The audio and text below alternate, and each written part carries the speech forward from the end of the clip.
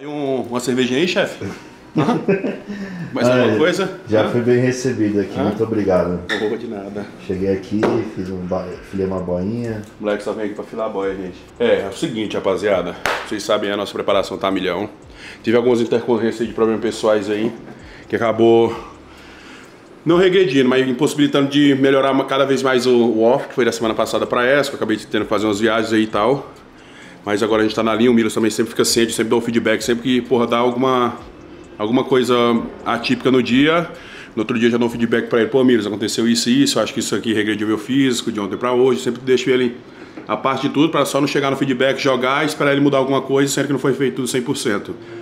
Inclusive é isso que eu sempre peço para os caras de consultoria, pô, avisa, fala o que aconteceu para ficar sempre sem de feedback e é isso que eu faço com ele. Então o que aconteceu essa semana foi bastante viagem, acabei regredindo um pouco das- por conta das viagens aí, é, caindo acho que 1, 2 quilos.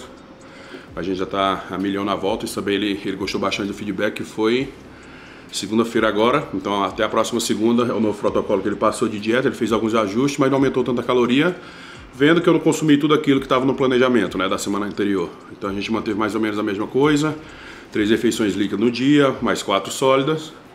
E hoje, como acabei acordando um pouco mais tarde, vou treinar daqui a pouquinho, eu vou fazer duas refeições em uma. Isso é, nunca, nunca é o indicado, né? Para quem está numa preparação, principalmente num pré-contest, por exemplo, juntar duas refeições em uma, isso prejudica muito o físico. Mas como eu estou off-season e é um dia atípico, isso vai ser válido. Eu vou estar conseguindo de- é, é, absorver toda essa quantidade de nutriente. E aí, e aí ele é, recomenda justamente para por conta da absorção. Exatamente. metabolismo, é isso. Então essas refeições líquidas são muito válidas, né, principalmente no off-season, para poder a gente conseguir ingerir a quantidade de nutrientes que a gente precisa durante todo o dia. E agora a gente vai fazer o quê? Juntar duas em uma, que vai ser o meu pré-treino de hoje. Já fiz três refeições hoje, mais duas. Ainda falta um pouco até dormir.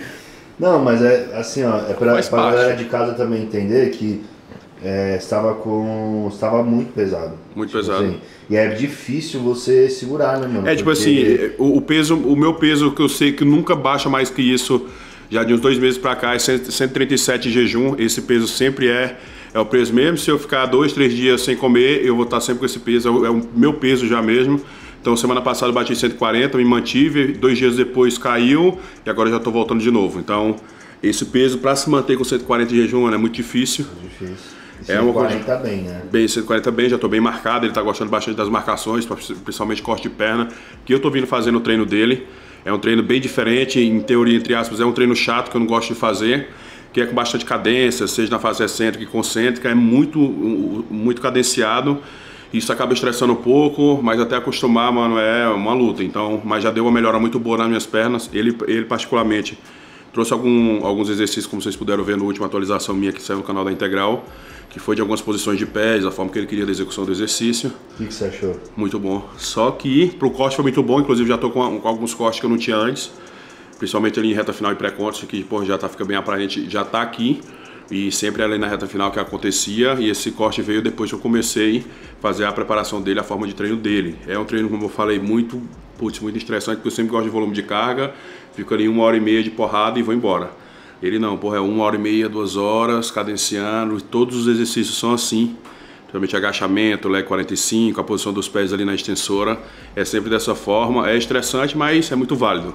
É, principalmente atua- na, na- na atualização depois desse treino que eu fiz.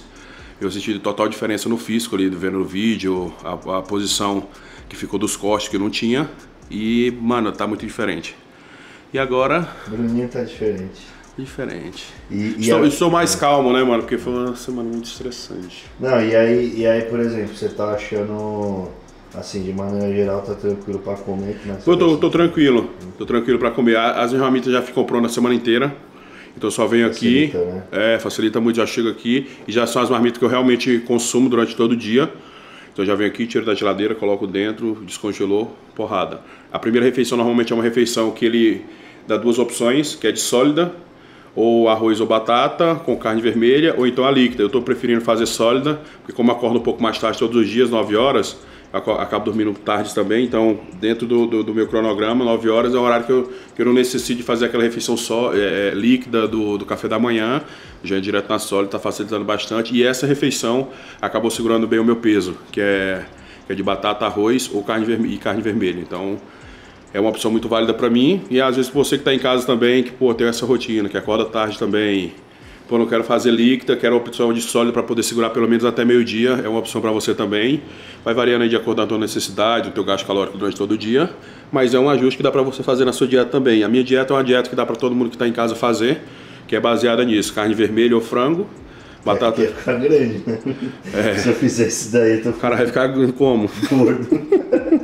Vai voltar o Braguinha que era antes, né? Nossa, aí não tem como mais ficar daquele jeito, céu. né? Deus me livre. E aí dá pro cara ajustar durante a, a- a preparação dele, seja o cara iniciante, intermediário, avançado, só alimentos que você dá para consumir na sua rotina, pô, não tem um grana, mas sim, pô, a batata doce é um, um- um alimento muito acessível, o frango, mesmo que aumentou, mas é, é acessível, dá pra gente consumir também. E só alimentos básicos que não diferem de um cara, pô, o cara é profissional, ele come algo totalmente diferente de todo mundo, não. A mesma comida que eu como hoje, eu comi há 10 anos atrás quando eu comecei no fisiculturismo. O que mudou foram as formas, as estratégias, a quantidade, entendeu? Você acha que o Milos vai manter esse tipo de comida até o final? Não acho que ele vai aumentar mais. Não, mas tipo, é os mesmos Mas os alimentos. mesmos alimentos, mesmo alimento. Porque desde que a gente iniciou, é o mesmo alimento, só aumentou a quantidade. Então eu acredito que não vai ter nenhuma mudança drástica. Ele também não gosta de fazer um off-season sujo.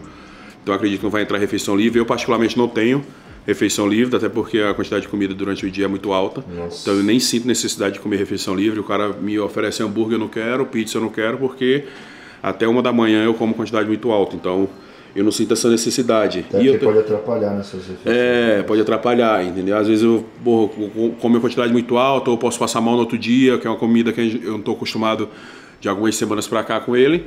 Então pode ser ruim para digestão no outro dia, entendeu? Eu prefiro nem arriscar, comer de tudo que está no cronograma, não sinto falta. Lógico que na reta final, ali no, quando ele começar a puxar um pouco mais, eu vou começar a sentir uma necessidade de fazer uma refeição livre. Mas é lá na frente, é outro episódio que a gente vai estar mostrando aqui também, né? Então é isso, bora preparar o shakezinho. Shake do pai. Quero ver também se você vai conseguir co- tomar esse shake. E, e, rapaziada, é o seguinte: a função desse shake aqui é mostrar a quantidade, o porquê que eu expliquei. E a rapidez é porque se eu consigo começar a beber o shake muito devagar, vou demorar muito, vai ficar mal e eu gosto de beber o bagulho rapidinho, tá ligado? Papuça. É, porque o cara às vezes vai vir no comentário assim, ah, o cara quer mostrar que bebe muito rápido. Não, é a minha forma. Se tu não consegue também, é o problema é teu. entendeu? Então simbora. Tá aqui. Nossa. Duas caixas de aveia. Eu deixei aqui como? Duas caixas de aveia, 300 gramas de aveia. Trezentinha. Ui. Dark Whey, a gente vai botar 100 graminha. Toma. Bem saliente. Bem gostosinho pra você. Tá o cópio. Fruta, não vai nada, né? Ah, não vai nada, né, boy? Porque senão, né, vai ficar mais difícil pra gente beber, né, boy? Eu acho que eu vou botar... Hum, deixa eu ver se essa tâmara tá gostosa. Essa tâmara tem um... A tâmara. Vai. O pessoal tá aqui, até hoje quer saber a história da tâmara. A tâmara? Tu já comeu tâmara? Já comi, tâmara. Tanto fruta quanto gente.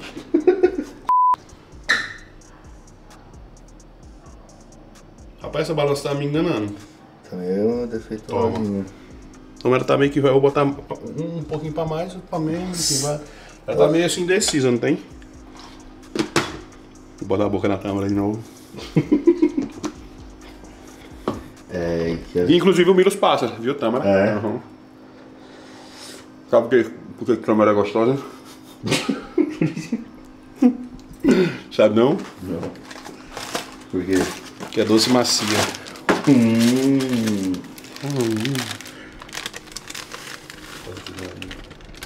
É isso, vai ficar um cimento fudido, hein?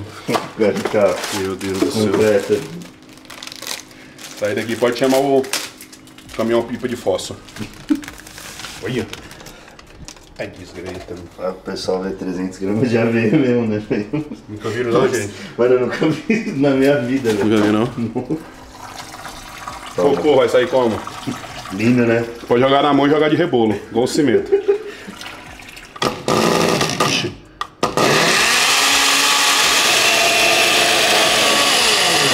Ó, ixi Maria. Agora parece que deu uma. Que tem- eu acho que tem algumas colou as placas lá embaixo. Fica, tem que. Tem que ver. pra- Essa, essa colher, essa Não, tá tesoura. ótimo, Essa tesoura aqui é que eu corto as carnes, não tem? É bom, né? Proteico. Picota. Sempre bem mesmo. Um litro e meio? É, deve dar um, um, um litro e trezentos por aí, por causa né, do restinho que sobrou, né? Sapeca? Vou bater meu próprio recorde. Recorde, né? 8 ponto alguma coisa, 8.5 segundos. 8.5. É. Peraí. Respira. É porque eu tava tentando haltar, não tem? Bora? Você vai pra apertar? É. Peraí, quando eu falar já. Um, dois, três, vai.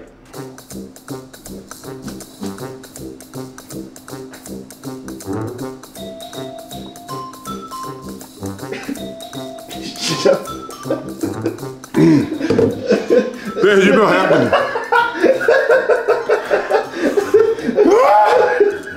Satanás. Eu enguiei ainda. Afogou. Peguei uma rodela desse tamanho de aveia crua. Desgraça. Mano do céu, velho. Ô, mas é, é muito rápido. 10 segundos é rápido. Tô decepcionado comigo mesmo. Eu não bati meu recorde, tá agora. Porra! É, Nem vou dormir hoje. Tô falando sério, papo reto, eu fico muito competitivo. você é muito competitivo. Agora muito- você vai ter que fazer outro pra. Fui Fui muito imbecil comigo mesmo. Ô, desgraça. Ai. 12 segundos, mano. Bom, é porque mas- eu acho que tava meio grosso, não tem? Não bateu direito. Se tivesse mais, mais molinho um pouquinho, tinha descido rapidinho, tem? Explica. Desceu tipo um bagulho desse aqui, ó, tá ligado? Entendi. Mas o dobro. Aí deu Aí deu uma entalada, uma né? enguiadinha assim na marcha, tá ligado? A preparação com o Milos, como a gente. Mano, a gente quer sempre soltar pra vocês tudo que é verdadeiro, igual eu falei pra vocês que eu tive uma semana atípica, acabei perdendo 2 quilos. é, deixando vocês cientes realmente do que tá acontecendo na preparação, mostrando as mudanças da dieta. É uma dieta que eu tô vendo bem semelhante da semana passada, como eu falei. Não aumentou tanta caloria porque eu não cumpri tudo que tava no cronograma devido às viagens e tudo. Então a gente sabe que nós atletas, mesmo do, do- fazendo toda a parte de, de atleta mesmo, de acordar, treinar e competir, a gente tem uma rotina de cronograma, de gravação, a gente tem que viajar. Isso acaba um pouco dificultando, mas faz parte da nossa rotina, então a gente tem que sempre ir adequando no nosso dia a dia. Mas a missão era essa. Vou botar depois pra galera aqui na tela as calorias. Parece que a, a verra desceu, doido. Tem que ir no banheiro. Já, já, já, já, já, no banheiro já. Chega de suadeira, né? Ei, graça. Fala aí, rapaziada. Bota no comentário aí, pô. Quero ver o que do Brunão, o que de preparação, o que da rotina que a gente vai estar cumprindo, trazendo pra vocês aqui bastante informação. É só deixar na descrição, como a gente sempre fala, vocês que mandam no canal. Então deixa alguma coisa positiva que a gente vai cumprir pra vocês, trazer bastante conteúdo. É isso. Marcha. Beijo pra vocês. Beijo na bunda até segunda.